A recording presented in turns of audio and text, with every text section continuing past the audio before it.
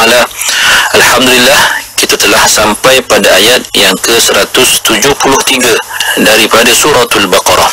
Allah berfirman, A'udzu billahi minasy syaithanir rajim.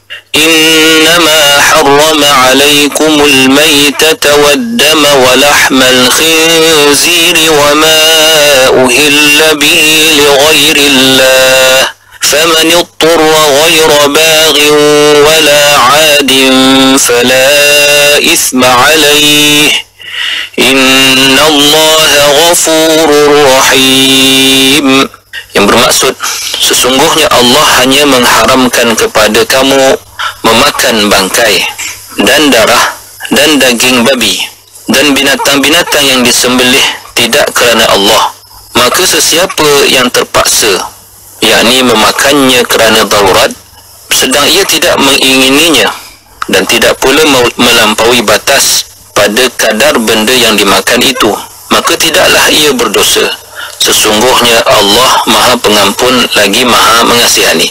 Muslimin muslimat yang dirahmati Allah Subhanahu wa taala. Dalam ayat yang lepas Allah Subhanahu wa taala memerintahkan orang-orang beriman agar makan makanan yang thayyibat, makanan yang baik dan diiringi dengan kesyukuran kepada Allah Subhanahu wa taala.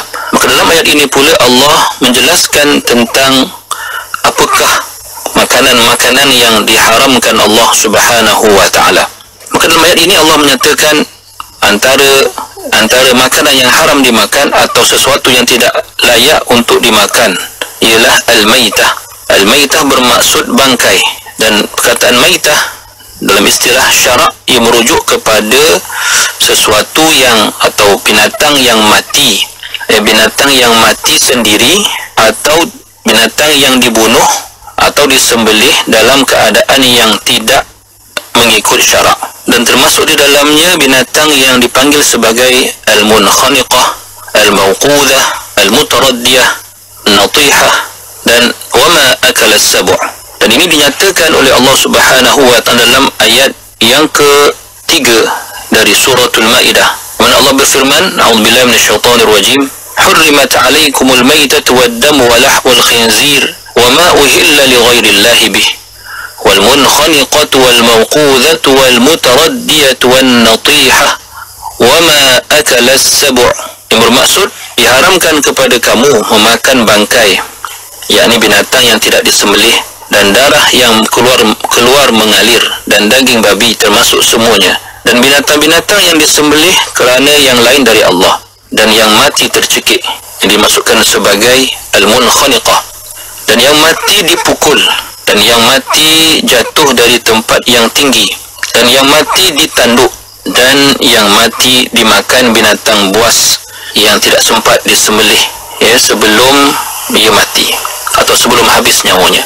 Maka ini termasuk dalam ya dalam binatang-binatang yang diharamkan untuk dimakan dan termasuk di dalam al-mayyitah termasuk juga di dalam hukum bangkai iaitu apa yang terpotong daripada tubuh binatang yang masih hidup.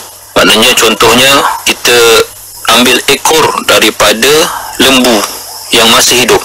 Maka ekor itu dikira sebagai sebagai bangkai dan, dan ini dinyatakan dalam hadis yang dikeluarkan oleh Abu Dawud dan dan, dan At-Tirmizi an Abi Waqid Al-Laythi أن رسول الله صلى الله عليه وسلم قال ما قطع من البهيمة وهي حية فهو ميتة yaitu apa yang terpotong atau dipotong daripada binatang yang masih hidup maka ia dikira sebagai bangkai maka memakan bangkai itu adalah suatu yang haram dan diharamkan kerana keburukan atau mudarat yang ada ya, pada bangkai tersebut. Dan keadaannya atau keadaan bangkai itu dianggap sebagai suatu yang jika dimakan maka ia berlawanan dengan eh, dengan tabiat yang sempurna eh, dengan tabiat yang yang sejahtera yang sejahtera. Kerana bangkai itu adalah sesuatu yang kotor dan pastilah ia dipenuhi dengan kuman dan sebagainya kemudiannya adam iaitu darah. Dan di dalam eh, di dalam ayat yang lain yang telah saya bacakan tadi dalam suratul maidah maksud adam ataupun darah yang diharamkan itu ialah ad-dam al-masfuh iaitu darah yang mengalir keluar daripada daripada binatang setelah uh, disembelih ia. Dan perkataan masfuh ini dapat kita lihat di dalam suratul an'am ayat 145 di mana Allah berfirman a'udzubillahi minasyaitonir rajim قل لا أجد فيما أوحي إلي محرما على طاعم يطعمه إلا أن يكون ميتة إلا أن يكون ميتة أو دما مسفوحا أو لحم خنزير yang bermaksud katakanlah wahai Muhammad aku tidak dapati dalam apa yang telah diwahyukan kepadaku sesuatu yang diharamkan bagi orang yang hendak memakannya. Melainkan kalau benda itu bangkai yaitu al-maitah atau darah yang mengalir iaitu damam masfuhan atau daging babi kerana sesungguhnya ia adalah kotor. Muslimin muslimat yang dirahmati Allah Subhanahu wa taala. Mengapa perlu kita melihat ataupun menisbahkan ataupun apakah kepentingan perkataan masfuh iaitu darah yang mengalir daripada haiwan setelah disembelih atau setelah dimatikan? Kerana ia ingin menunjukkan bahawa terdapat darah yang dimaafkan iaitu darah yang ada pada bahagian-bahagian daging binatang setelah disembelih maka tidak ada masalah padanya. Sebab itu terdapat istilah yang dipanggil sebagai umumul balwa dan dikaitkan dengan darah iaitu darah yang diharamkan ialah darah yang mengalir deras yang boleh kita buang yang boleh kita bersihkan eh, maka ia adalah darah yang haram dimakan. Adapun darah yang dimaafkan ialah darah yang termasuk dalam umum umum balwa ini iaitu darah yang ada pada daging eh, pada uratnya maka ini tidak tidak berdosa ataupun tidak menjadi masalah untuk dimakan. Muslimin muslimat yang dirahmati Allah Subhanahu wa taala mengapa ataupun apa hikmahnya Allah menyebut di dalam ayat ini berkenaan berkenaan dengan darah? Adakah manusia yang makan darah sebenarnya? Dikatakan bahawa setengah orang Arab pada zaman jahiliyah terkenal dengan suatu kaedah mereka dalam memakan daging iaitu mereka mengambil darah yang mengalir daripada binatang yang telah disembelih itu diambil darah itu dan dimasukkan ke dalam ya dalam perut yang dimasukkan dalam perut binatang itu atau haiwan itu kemudian dipanggang bersama-sama dengan darah yang dipanggang dan dimakan oleh mereka semua. Dan dinamakan ia sebagai al-fasid iaitu daging-daging yang dibakar dalam keadaan darah ya, darah yang diisi atau disapukan ke dalam eh, diletakkan ke dalam perut binatang itu. Bagi ini suatu cara yang diamalkan oleh sebahagian orang Arab pada zaman jahiliyah. Berkata sebahagian daripada ulama bahawa hikmah pengharaman darah sebagai makanan ialah kerana darah merupakan sesuatu yang dipandang jijik yang dipandang jijik oleh manusia-manusia yang mempunyai ya mempunyai peribadi yang sejahtera, peribadi yang normal. Maknanya sebagai orang yang normal akan merasa jijik terhadap darah dan tidak akan sanggup untuk memakannya. Dan sudah pasti meminum darah atau memakannya akan membawa kepada mudarat, akan membawa kepada keburukan. Ia adalah suatu yang sama sekali ia bertentangan dengan norma dan nilai manusia apabila ya manusia itu menjadikan darah sebagai sumber makanan mereka. Muslimin muslimat yang dirahmati Allah.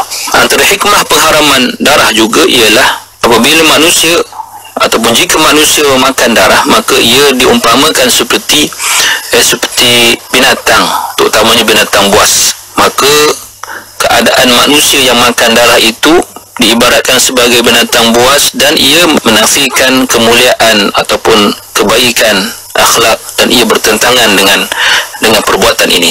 Kemudian Allah menyatakan lagi walahmal khinzir dan juga daging khinzir ataupun daging babi. Dan pengharaman daging babi ini bukan bermaksud hanya dagingnya sahaja yang haram.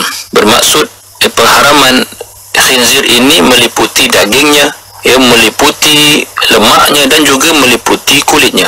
Adapun disebut di dalam ayat ini walahmal khinzir disebut disebutkan daging kerana itulah yang biasanya dimakan oleh manusia. Kerana daging adalah sumber makanan yang utama yang diambil daripada daripada haiwan. Dan ada pun eh, sekalian anggota khinzir yang lain dia adalah mengikut atau tabi'ah mengikut pengharaman daging khinzir itu sendiri.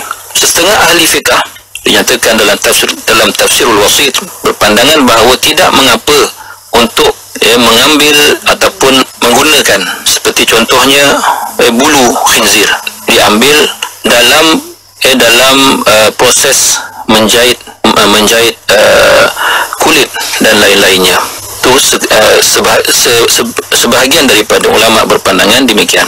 Dan hikmah dalam peng, ataupun hikmah dalam pengharaman daging khinzir itu ialah kerana ia dipandang jijik. Ia dipandang ia dipandang sebagai kotor. Dan sudah pasti di dalam uh, ilmu perubatan moden telah telah menjelaskan kepada kita bahawa daging khinzir ini mengandungi ataupun mempunyai kemudaratan dari segi kesihatan. Khasnya yang disebut sebagai eh, mengandungi ia mengandungi ulat ataupun cacing pita dikatakan yang boleh memudaratkan badan manusia atau tubuh manusia dan ini telah pun diketahui oleh orang ramai. Cuma terdapat satu persoalan. Apakah apabila dengan ilmu perubatan ataupun ilmu teknologi sains teknologi moden yang memungkinkan ya, kemudaratan yang ada pada daging khinzir itu dihilangkan? Adakah ya dengan adanya cara atau kaedah tertentu yang boleh menghilangkan mudarat pada daging khinzir? Adakah dengan itu khinzir dibolehkan atau menjadi halal untuk dimakan Adakah pandangan ini kita sebagai umat Islam yang membaca Al-Quran boleh menerimanya? Maka insya-Allah akan kita jawab dalam pertemuan yang akan datang. Aku qawli hadza wa astaghfirullahal azim li wa lakum. Wassalamualaikum warahmatullahi wabarakatuh.